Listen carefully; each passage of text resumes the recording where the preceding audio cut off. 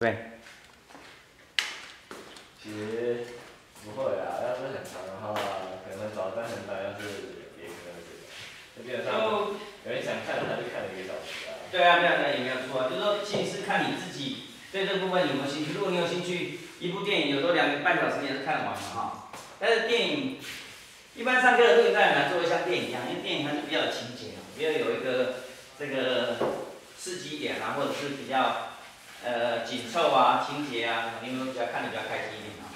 那一般教学录影带，尤其是假设三个人不是这些人说哦，我在那堂课待过，我有一些互动，所以我大概有一点感觉。那如果不是的话，有时候看起来比较无聊。好，讲笑话。好，我们今天讲笑话。那个水跟陆地其实很简单，我们地球上有多少水？很多。很多水。啊，如果拿拿一个拿个篮球，拿拿个篮球，有人这样曾经描述过，假设这个篮球是地球，你觉得地球的水有多少？七十八。非线条的部分。七十八，什么叫七十八？七十八是什么意思？地球的水有七十八。一百八里面有七十。地球你的地球没有这么大，所以说假设这是一个篮球，你你这个体积有七十 percent 是水，是这个意思吗？面积呢？面积怎么样？面积的七十趴。啊，面积啊。啊，面积啊，深度呢？深度大概一公分吧。一公分，一公分哦，这个球一公分啊。其实比较简单来讲，应该这样，你把这个球拿去水里泡一下，拉上来，拿上来之后，表面剩下的水可能比现在目前地球比例上的水还多。你可以想象吗？可以。就这薄薄一层哦，不是一公分哦，七十 percent 的面积还有一公分没有那么多，就是你把那水沾到水里面，沾到把球沾到水里面去，拉起来，拉起来滴滴滴滴滴，表面上还剩下那些水，就大概基本上的水的比例啊，跟地球的比例差不多，比起来这样。嗯。有感觉吗？有。有感觉。我们来先先想一下，地球 I got the feeling。的直径有多少？忘记了，我也我也经常忘记了，地球直径嘛。三点一四一五九二六。三点一四一五九，三点一四一五九。二六。二六五。这以前米啊。单位。这什么单位？K。K K 是什么？K 是你 K K K K K 什么？这样子。三点一四一五九。现在录影呢。没关系，三点一。剪掉啊。我通常没有剪掉了。好的呢。三点一四一五九二六五。K 什么东西 K？但我明明就是拍 K。这是一个自然数就叫拍哈，拍是这个东西，这跟地球直径关系不大啊，关系不大。好，地球直径是多少？Hello，啊？一百公里。一百公里。其实这东西在以前是很难计算、很难量测的啦。啊，但是是有方法，这个简单几个方法。是一百公里。我猜的嘛。是啊，不是一百公里。总比猜这个还要久一点吧？怎么可能？我们先先想一下，啊，地球一周直径，哎，一圈是多少？三点一四一五九二六。一圈，呃，你们有没有听听说过，光一秒钟可以走地球多少圈？七圈半。啊，七圈半，记得这个就好了。光速七等于什么？三乘以十的八次方，对不对？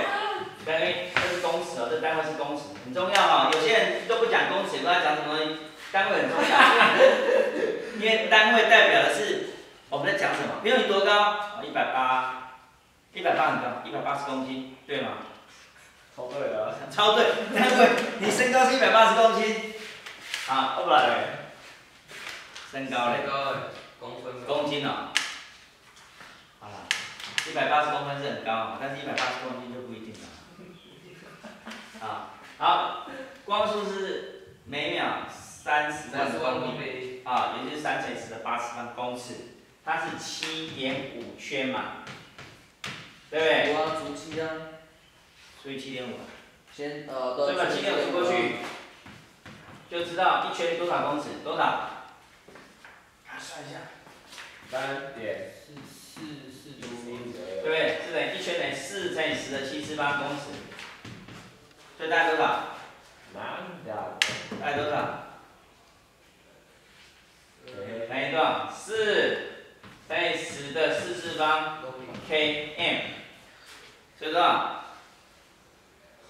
四千，啊，四千多公里，四四万公里吧？四万，哦，对，是不是四万公里？四后面有四个零嘛，四万公里。所以地球一圈你只有三而已，一圈耶 K 耶，一圈大概是四万公里哦。我们地球一张一圈四万公里，对不对？地球一圈四万公里哈，地球一圈四万公里，然后那直径是多少？除三点一四，啊，除三点一四，对，除三点一四六九六，所以差不多一千公里，啊，一千是吗？差不多。怎么是一千？我们公里还是留哦，着一千万了。一千万，Kn 是什么？Kn 是 km 公里啊，在这里啊，Kn 是公里啊，好，对啊。是一千公里还是一万公里？我这边是四万是啊。万，对啊对啊对啊。啊，那就是四，那就是差不多一万多。啊，大概是一点二万有种突然，啊，就在一万两千。因为我写十的四次方会误会成一千呐，所以我把它写成万呐、十的四次方就是万，对不对？所以一点二万公里，所以直径多少？一千两百万公里哦。好，那我们知道最深最深的最深最深的海沟是多少？多深？差不多一万。十几公里，两百公尺，大概十公里，十公里。嗯有那么长吗？有最深的海沟狗这么短吗？大概十公里。平常的厚度，平常的深度大概多少？一般的深度，几百公尺，哎，几百公尺，这样乘以乘以二大概两百到三百公尺左右。哦，这差很多，因为你像地球现在表面，像比如现在那个牛头山，我们现在的海平面多少？我们现在的海拔两百多，两百多到三百左右。可是圣母峰最高是八千嘛，在八公里左右，所以海沟最深的大概是十公里，陆地上最高也不到十公里嘛，大概是九呃八公里多嘛。大家，那平均高度呢？平均高度，地球表面的地表的表面高度，平均高度可能是大概是从几百到像西金刚山高原啊、西藏那边大概是四千哦，平均高度大概四千。好了，但是 anyway 我们讲海里的话，平均大概是三百，大部分都是三百左右。啊，像台湾海峡反正比较深哦，台湾海峡比太平洋还深一点点哦，台湾海峡比较比较深哦哈，很恐怖。哎、比较恐怖对。好，然后呢，哎、那我们知道这讯息，我们来比较一下哈。假设以三百公尺来看好了，三百公尺，我们地球的半径啊，半径多少？再除以二对不对？是不是六千公里？公里哦，哎、公尺，公里就刚刚的公尺之后再补上个零，所以这个比例是这样子，所以把它约掉，约掉，约掉，约掉二，大概是两万分之一哦。地球上面的水的厚度，大概是地球半径的两千分之一哦，两万多。呃，两万分之一所以两万分之一。所以假设一个球的直径有没有四十公分？篮球有没有这么大？没有那么大，篮球有没有三十公分？差不多三十公分好。那我们半径，这是半径啊，对不对？这半径，这半径是十五公分，对不对？那十五公分，十五公分再约掉，怎么约？你们知道三，想办法约咩？四天，对不对？再约掉再约，一六零零，可不可以？可以吗？呃，一一一一三零零，一千三百分之一哦，一三三这个一千三百分之一什么？单位什么？公分，公分哦。你怎么能那个啊？怎么能怎么能？好，可以。是大约嘛？四千除以三不是大约是一千三吗？OK，谢谢你。啊、应该是一千三百三十三了啊。因为这是自然课，所以比较短这个数学。所以呢，也就是什么？也就是我们地球上的厚度，假设相较是地球，哎，一个篮球来讲的话，地球上水的平均厚度大约就是一千三百三十三分之一公分哦。那我刚刚讲的，把这个球拿水里面去沾水，拿起来，这个厚度实际上比这个还厚哦，比这个还厚，所以水相较整个地球来讲，实际上是非常少的，实际上是非常少，所以人就更小了。所以你看人还可以被一个海啸给淹死，然后一个海啸过来就一几万个人死掉了。你看那个那么那么一点点水可以制造产生一个海啸哦，消而已。哦是非常可怕的事情啊。所以像这个这个比例值，让我们感觉一下，地球是让相当我们人类或或或或我们所感受的东西是大很多，是非常非常非常大的哈，这个尺度很大。其实好了啊，你说，那这么这么这么多水还是这么少的水？我们想想它对人类的影响是什么？这么多的水，你觉得有多少水可以喝？一趴一趴，一趴，两趴，两趴啊？一趴一趴到两趴。好，应该说我们先讲说淡水啊，它淡水有多少？一趴，一淡水大概是一趴到两趴。好了，啊，这一趴到差不多。差不多一趴啊，这一不到。两一趴到两趴分布在哪里？所以我们。地球。地下水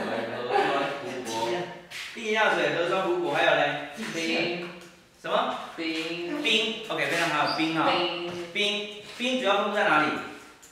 雪南极跟北南极跟北极比较多哈。没可是那边还不都是海水结成冰吗？没有哎，没有，它结成冰之后，它会跟盐水分离，而且它大部分的水，大部分的冰是因为天上掉下来的冰所结成的，而不是从地上，不是说地上那个海水结成的冰，不是哈。堆积的。不是啦，这是晒太阳结晒太阳脱皮啦。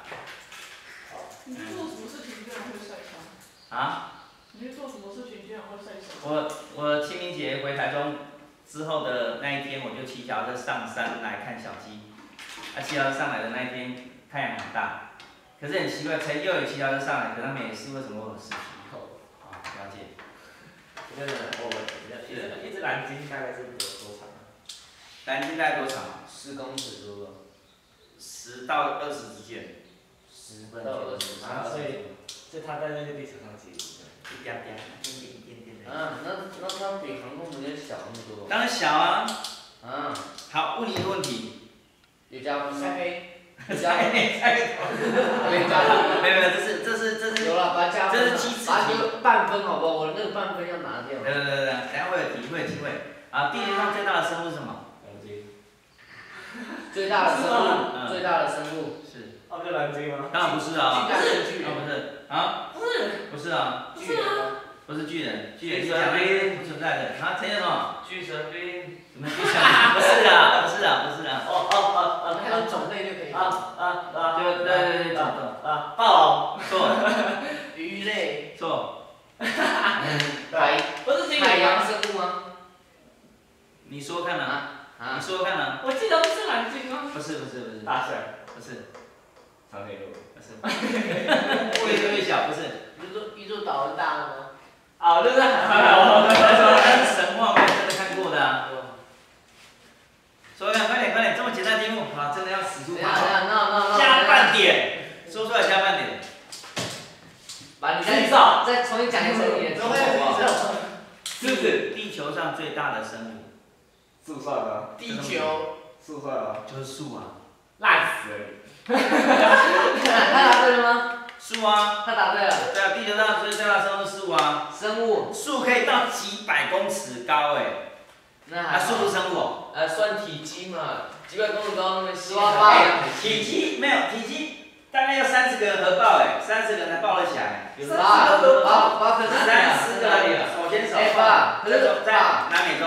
你这样也不一定啊。哎蓝鲸搞不好也比树，所以这年意思说，因为你把你有可能有几率这样子哦。看不到了。哦，对吗？你把那棵树哈，如果放到太平洋的话，它会冒出来，冒出头来，假。就很高啊，三两三百公尺以上啊。那蓝鲸也会啊。你有一只蓝鲸突然冒出来，蓝鲸啊，就说卫我什么脚踩着海底，它可以冒出头来。脚踩的海底。对啊所以想要有海上，你就要爬树就好了。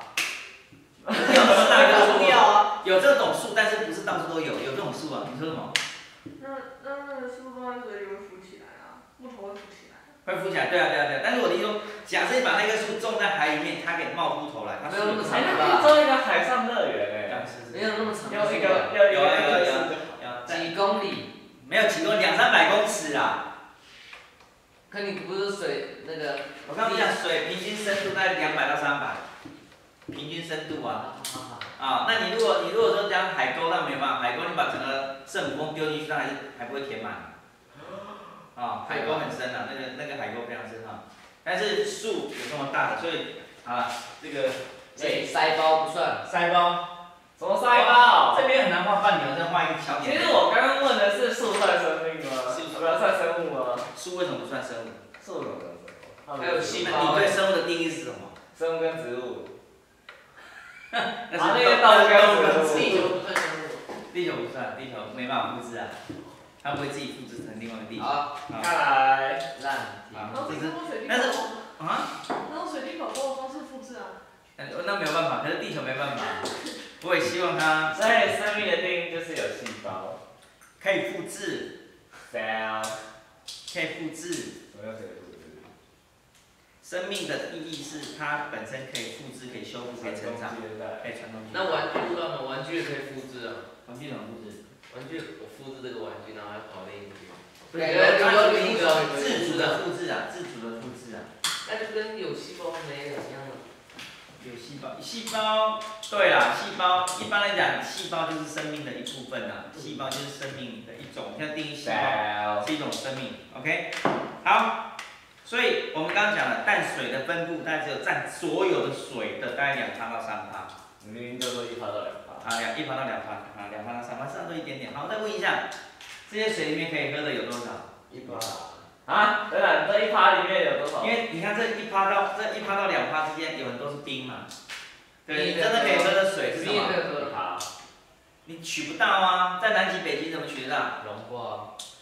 你不方便取得嘛。我讲说可以喝，是你现在是，比如我们家都可以这边有喝，河，我过去我就可以喝水了，对不对？这样跟你子。讲的可以喝，我说你随时可以，我现在在修修正我的题目啊，你刚刚的问题在修正题目，你随时可以取得可以喝的水又有多少？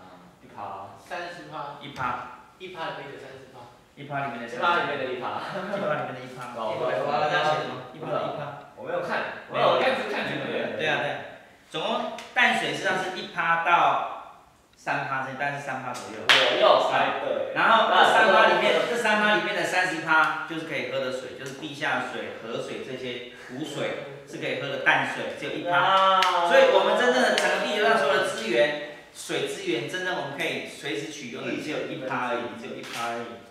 啊，你看这水够少，所以里面可以用的就一趴。那现在不下雨。对，现在不下雨，对，现在这是对我们目前台湾很辛苦的一个地方。我们现在台湾水为什么留不住？三因为四面环海。应该是山的问题吧？四面环海，然后我觉得水山的问题为什么留不住？，山的问题山会？挡住。山会挡住什么？不是，应该是山，它会让它流掉。那边痕迹，痕迹在那边。怎么了？对对对对对，其实应该是这样没有错嘛哈，水流下来，山很陡急，所以水砰砰砰砰砰就掉海里面去了，对不对？像中国大陆，它肯定很难啊，水下下，它从从中原地区要流到海里面，它流很远嘛，它比较平坦啊。那所以这中间过程当中就很多会有淤积成这个小湖，那边个小湖，那边个小湖，就到处有湖泊啊，对不对？所以它比较水比较那现在湖泊会有鱼吗？湖泊会有鱼啊。可是鱼是什么东西？啊，比如细菌啊，细菌弄弄弄弄弄，就跟地球为什么当初只有细菌，现在会变那么多人呢？像你一直说它有一个湖泊，它在自然产生鱼的。不是，好嘞。好了，这个东西其实很复杂。它有可能像那种青蛙跑过来生啊，然后就啊这是有可能蝌蚪啊，然后蝌蚪其实上弄弄弄就有可能是怎么样？比如说，假设现在有个内陆湖，你会觉得内陆湖理论上它不应该有生命的出现，但是有可能，因为地球的演化很久很久很久很久的过程，你在很久很久以前，有可能是地面是海啊，海就可能有生物留下来，那突然旁边的地面隆隆起来、凸起来，它变成一个内陆湖，内陆湖是不是有些海流在里面？这时候还是还是咸水。可是咸水它慢慢的补充淡水啊，然后水会流出去，慢慢补充淡水，水会流出去，所以它慢慢的会从咸水慢慢进化成淡水。在这过程当中，鱼它必须被迫进化，进化成它可以适应淡水，它就活下来。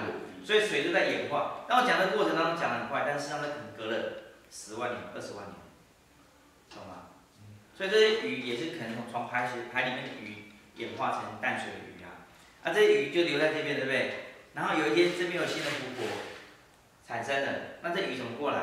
就有可能是，比如我今天鸟类飞飞飞到这边吃东西，吃一吃，我脚沾了鱼卵，那就飞到另外一个湖去去吃东西，或者去洗澡，或者去喝水，结果那卵就掉到水里面去，它就孵化了，有没有可能？有可能嘛？啊，所以这个后面的迁徙就很多种可能性的原因了。OK，好，那我们台湾的水留不住，为什么？刚刚讲说是因为山势陡峭，所以水很快就流走。那怎么办？盖水库，盖水库，水库很简单，就是哎水流下来，这边给它围起来，这边就变成水库了。对，所以石门水库，所以你们讲说，哎呀，石门水库已经干干到什么程度了？我们又看到一个神奇神秘的，青蛙，哎，神秘的青蛙。嗯，青蛙石是在日月潭，啊，青蛙石，日月潭有一个九只青蛙叠在一起的青蛙石。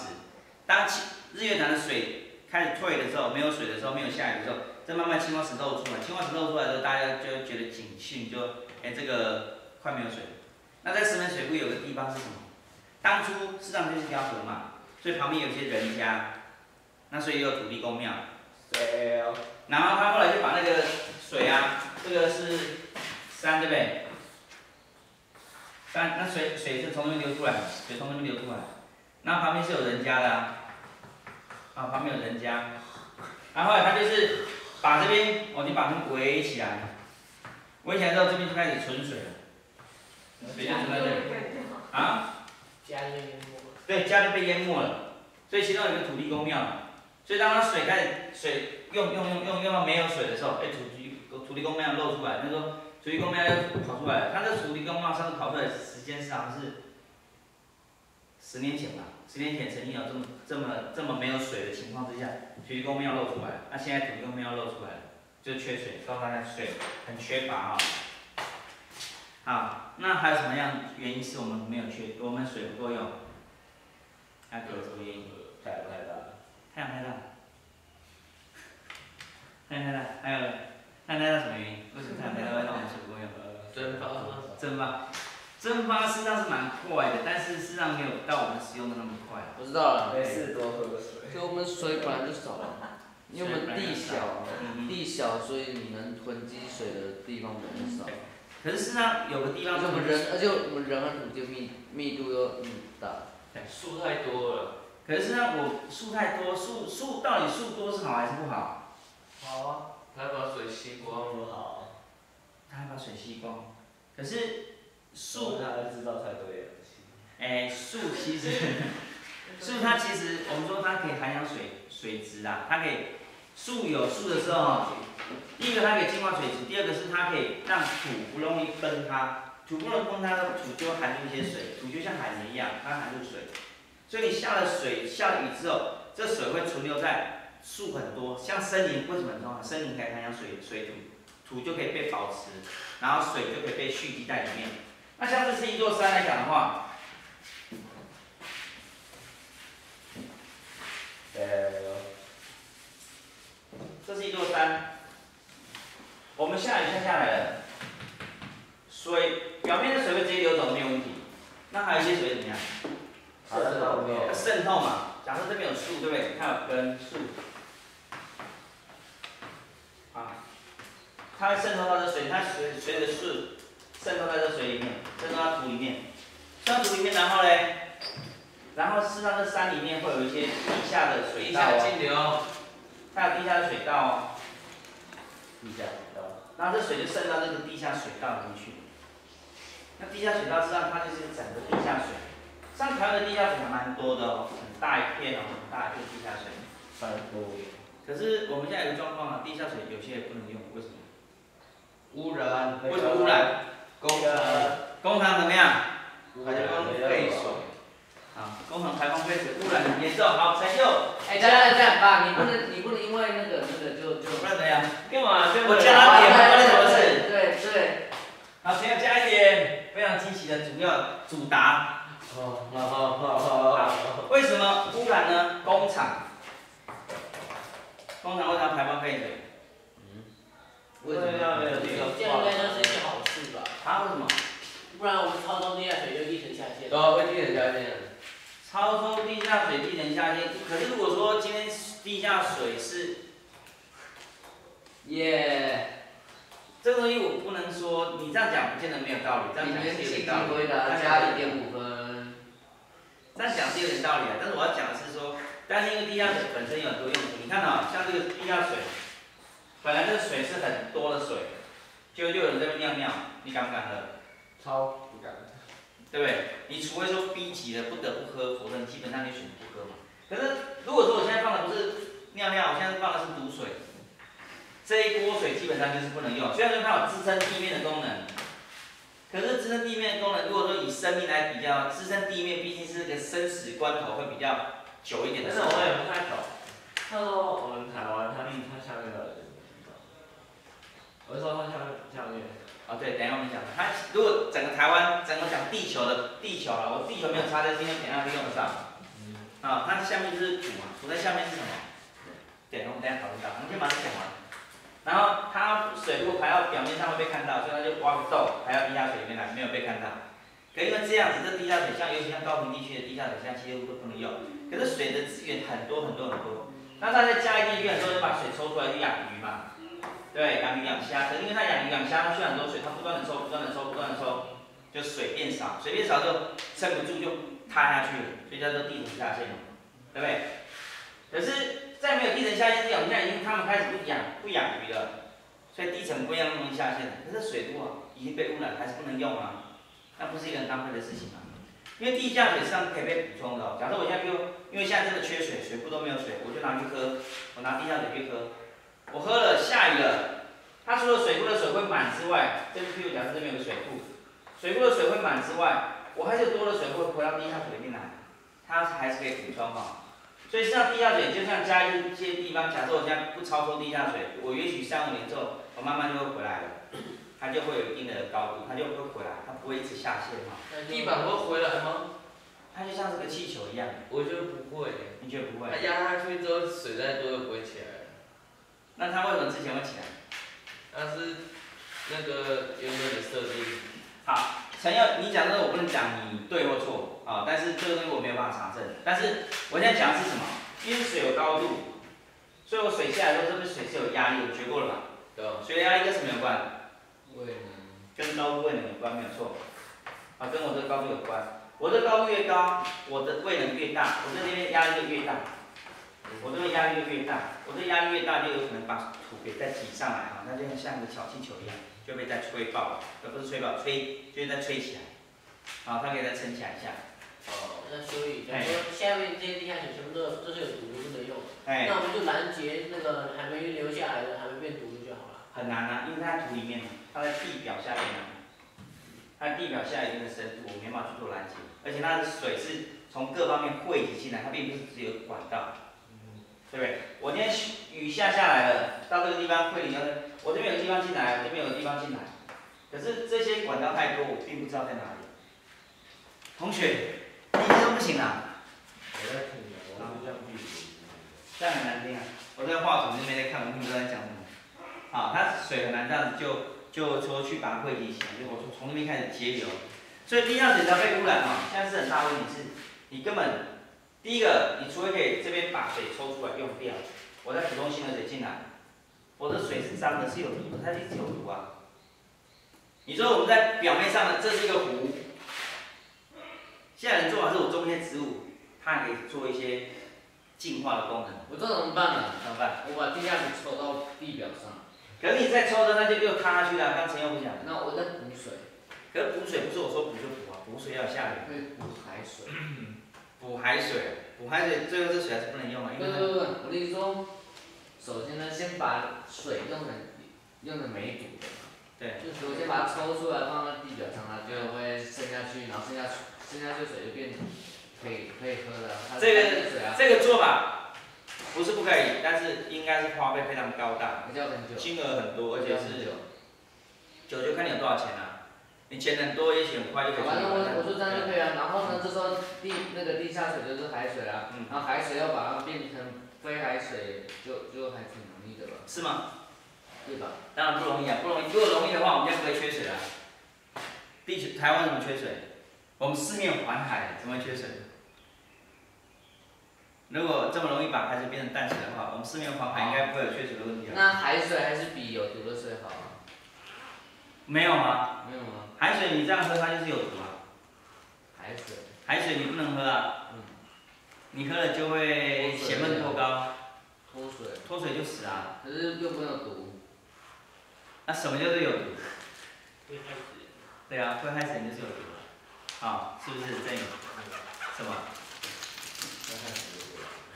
哎呦，你还是脑袋还是有在听的。好了，那我们海里面的水为什么咸的？譬如陈宇讲的这个海水，海里面水为什么会是咸的？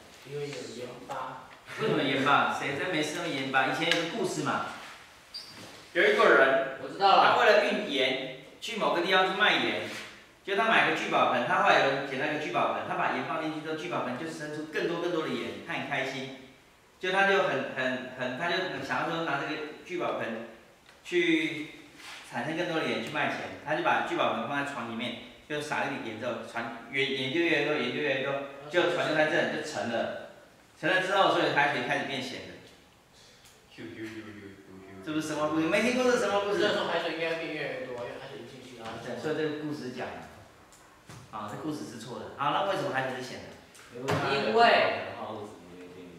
对对对对，为什么因为地表的岩石被冲刷，然后呢，流入海水诶海底，是岩石被冲刷，岩石被冲刷，岩石表面，岩石表面被冲刷，所以岩石的表面冲刷完之后，它就变血血啊，变到海里面去，它就变血血。为什么变咸的？因为因为因为它有有成分嘛，有有咸的成分，有盐的。谁跟你讲的非常好？很多人在海边那个玩耍嘛，啊会流汗呢，然后海水就变咸。哦，搞不好是因为很多人在上厕所啊，然后它变咸的。有个有个笑话是这个说法，有个笑话就是日月人家说海里面海水会一年，呃，一天会涨潮两次，对不对？日月潭的海水会有一年会有一次变成咸的，不是？我知道，就当大家去永永渡日月潭时等大家去永渡日月潭的时候，你看两三个小时在里面就尿尿了嘛，所以那 两三个小时日月潭的盐分是特别高的。好吧。啊，所以那个日月潭的水蒸发了之后，那个就是把那盐不会跟着蒸发，然后降雨的这个盐没有没有，但是日月潭是活水啊，它有进有出啊，它是活水。水所以它水会流走。啊，所以你刚你刚刚讲的问题就是说，为什么像死海的盐度那么高？尿尿，流汗。不会流。不是因为死海的死海是有进来没有出去哦。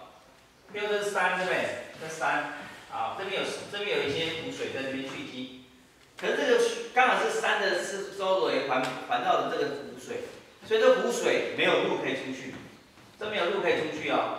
所以我山上的水不断的流下来，山上的水不断流下来，再加上陈一刚讲，我这边的石头的岩石特别特别的奇怪，它是比较含多盐分的东西。我含很多矿物质，很多特别的盐分，所以它不断的被海水冲、被下雨冲刷，腐就溶解流下来，溶解流下来，溶解流下来，所以这个湖水呢就比较咸。那再这样太阳晒，它就蒸发，水就蒸发，水就蒸发。所以这边基本基本上啊，你就看到那个旁边就很多盐块就结晶了，就结晶出来很多造型的盐块在旁边哦。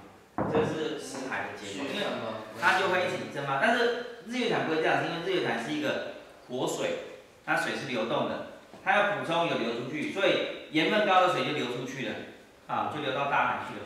所以海水啊，死海就是一个它没有流出去的管道，它只有去。那这样我能不能在石海死海上面盖房子？因为它盐分很高，所以它密度很高啊，那我在石海上盖房子，没办法，它没密度没那么高，它密度只我是盖木屋，木屋随便都可以盖，因为它石海那就变可以盖。船的意思。对啊，对啊，对啊。那石海哦，基本上你你可以坐在死海里面看书哦。你整个人进去，大概到这边就浮起来，就是像我刚刚海里面，可能是你浮到这边嘛，对不对？可以在死海，它可以浮到这边，所以他们就有人做实验，是这样，就这样稍微靠着，就是有点像这样躺着一样、坐着一样，就可以看书了。你身体就是浮有有大概这么多浮在水面上，就可以在上面看书，不会沉下去。啊、然后这死海盐度很高。那什么超咸？对超咸的。我知道，所以你想死的话，就那么喝一下就好。呃，它咸不会越来越咸，为什么？饱和了。就饱和了。哎，陈医生太厉害了，它就饱和了嘞。因为它慢慢的水分越来越多，越来越多，它就加半点，加半点，半点，半点，半点。不能随便讲一句话就加一点了。啊，它慢慢的就饱和了，它饱和就不会再更咸了，它就是维持那个咸度，对不对？啊，那夏天比较咸还是冬天比较咸？夏天，那比较，为什么？夏天因为水它会蒸发，然后剩下一点发那个之前的事，所以下面比较咸。你的意思下面比较咸，因为水被水被蒸发，然后那个盐巴也盐巴流。可是它最咸的是保应该不对吧？所以你的说法不是刚刚那个丙人说的比较正确。因为夏天的水温度比较高，所以它可以溶解的水比较多，所以它水比较咸啊，对不对？啊，你到冬天的时候温度低嘛，所以水的解溶解度比较低，所以水溶解度来比较低的话，你吃起来就比较没那么咸，对不对？好，冰跟加半点，这样子脸部大放松一下就吃就吃麦当劳去了。好了，那海里面的水我不能直接用，那我们怎么样用它？海里面的水我们不好用。蒸馏，蒸馏，你知道在盖在在烧盖盐什么？少年派的奇幻漂流。啊对，少年派奇幻漂流里面有，他把把水就是用棚子啊，用棚子盖起来啊，那海水晒到太阳，它就会蒸发，对不对？蒸发它碰到棚子它凝结，那你拿个盆子去收那个水就可以了。不是有那种纯水蒸馏的实验吗？什么？不是有那种纯纯水蒸馏的实验吗？对啊。就是那个烧杯什么放那个肉土，然后嗯烧烧的。是，可以，对啊，对啊，对啊，没有错。对，那就是我们在蒸馏那个纯水的做法也是这么也是这么简单，就这么做。那在沙特阿拉伯，他们说像以色列是沙漠国家，可是他们不会缺水，为什么？仙人掌，仙人掌，广种仙人掌。沙漠国家，他们下水，他们下的雨比我们还少啊，嗯，可他们没有缺水，为什么？不知道，因为他们骗自己啊，他们都会看到那个啊，绿洲不是，还是这种，不是的，他们的水会囤积，囤积，所以他们人都不用水，要，那是怎么囤积？他们水会渗到沙漠底下，渗到沙漠底下，所以就他们可以拿起来用。所以他们水，可是他们下雨很少啊，怎么渗到海里？怎么渗到沙漠底下？Hello，Hello，看仙人早掌，上两节课太认真了，所以这这节课变比较累哈。改天场不是解决方法，那水就是不够啊。我想，哦，我知道了，装除湿机，诶、而且时速都不太高。从空气中取水，这是个方法。但他们身上有在做海水淡化的工工厂，他们就有海水淡化工厂，所以因为他们有有警觉性啊，这国家就是有警觉性，我们就是缺水，所以他们就不断的设计说怎么去取水，取偏的水。就像陈毅刚讲的，海水淡化并不是很难的科技，可是你必须有经过有人去投资开发，它才变便宜、他们没有钱，当然就有钱。它才可以变便宜，它让海水淡化变便宜啊。那再加上一个什么事情？加上一个他们的水不是那么便宜，他们跟你你譬如像台湾一度水多少钱，你知道吗？一度水，十块，两几块钱，一度水大概两到三块，两块，两块到三。一度水有多少吗？三块，一度水有多少？知不知道？五块。三百加，啊，你讲过了我讲过多少？多少？一立方公分啊，不是，一立方公尺，一立方公尺，哦，就是一吨啊，一公一千公斤的水叫做一度水。我们平常喝的喝的保乐瓶啊，那个保乐瓶，保特瓶，呃，这边没有小保特瓶，一般的小保特瓶是几公升？六百，六百600 cc 啊就零点六公升哦0.6公升所以一公吨的水可以做几罐这个？啊，这很多吨，哎呀，很多罐啊，一百几罐啊？一百，啊，几百吗？一百多，一百多而已吗？一百，想清楚，就几几千呢？几千？一千多罐，一千多少？一千多四百多，一千四百多，一千四百多。哎，一千三，一不是啊，一千一千啊，一可以做到一千三百三十三罐啊。装，一度一度的水，三块钱的水可以做成保乐瓶，一千三百三十三罐。然后你看，现在已经跟你讲了哦，我们新闻也讲了，现在目前卖矿泉水的公司大概有很多家，很多家，百分之五十都是用自来水要三块钱哦，它只要放成瓶子之后呢，每一瓶可以卖至少，哦，每一瓶可以至少卖十块钱，十块钱很便宜了吧？那又往后呢，万不便宜哦，对啊，假设嘛，那只卖十块钱。假设只卖十块，你看它马上变变多少？个十百千万，那个马马上可以变一赚一万多，马上可以卖一万多。好，那这只是三块钱，三块钱的成本，它获利率是几千倍哈，几千倍的。所以现在有个做法啊，现在世界上很多国家他们在鼓励哈，不要喝瓶装水，我就是去公园呐、我就弄自来水，把它净化，水质净化，让你可以直接生饮。你是说烧吗？什么？你是说煮一煮吗？